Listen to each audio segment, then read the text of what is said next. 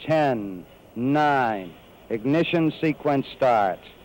6, 5, 4, 3, 2, 1, 0. All engine running.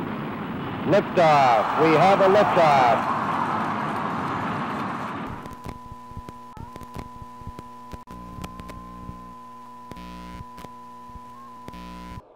Uh, Houston, we have a problem.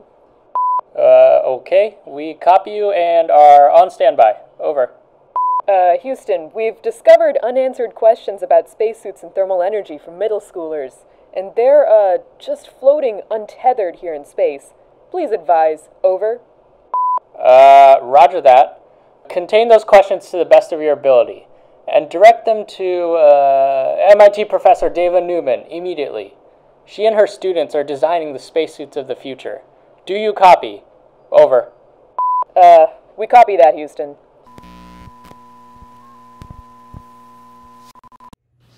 And finally, there are some thermal energy questions that have been floating out in space.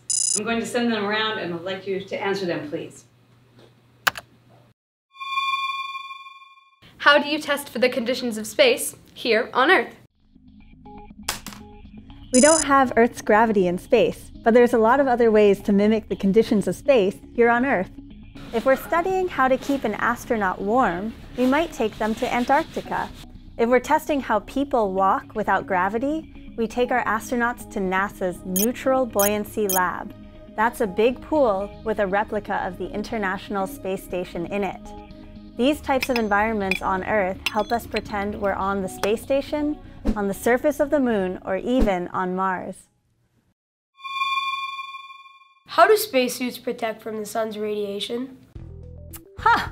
Well, we have good news and bad news about radiation. The sun gives off two forms of radiation. The first is thermal radiation, which is the heat that comes off of anything warm, like a hot potato.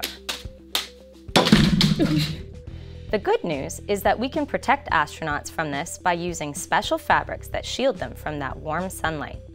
The second form of radiation from the sun is ionizing radiation.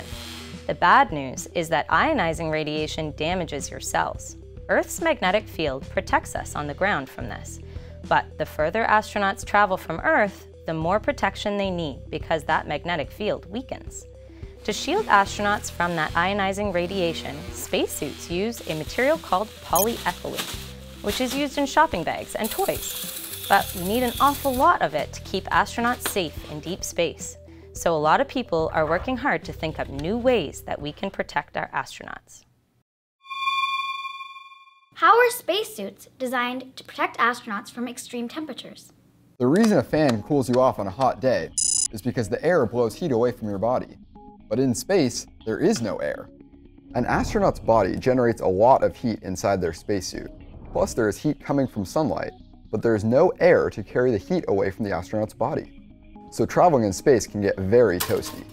To prevent them from getting too hot, spacesuits are white to help reflect sunlight. They also have an outer layer of insulating Kevlar fabric, similar to steelworkers' gloves, and rubber silicone padding on the palms and fingers of the gloves to prevent the fabric from melting or tearing when the astronauts touch hot surfaces. But space can also get as cold as minus 250 degrees Fahrenheit, or minus 156 degrees Celsius. Spacesuits have seven layers of mylar, you know, like the shiny blankets that marathon runners use after a race. And electric heaters are put inside the astronauts' gloves. What happens if astronauts sweat, or sneeze, or cough, or. Astronauts work hard during spacewalks, but sometimes normal body functions get in the way.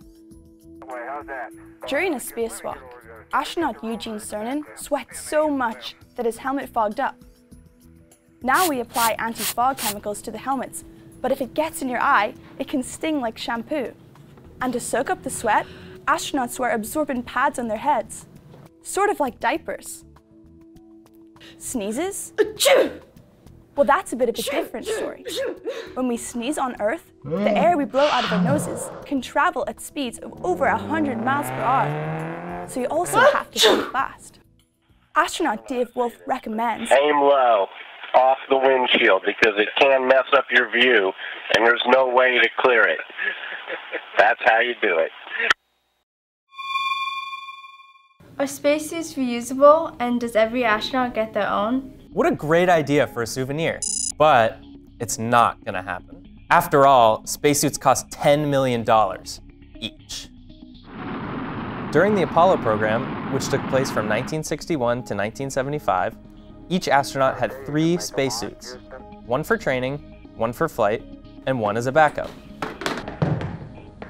Those spacesuits were all basically one piece, so they were custom built for each of the astronauts. But later, they designed them with interchangeable parts for arms or legs.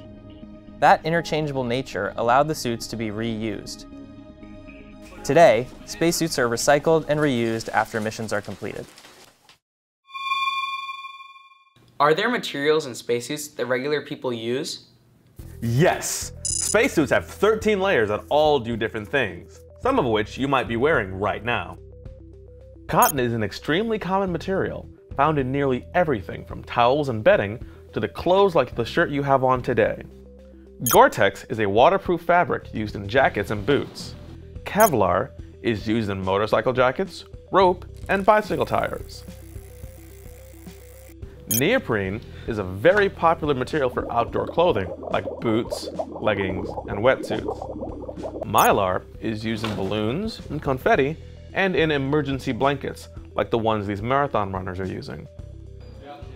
Nomex is used to protect firefighters from the intense heat of fire.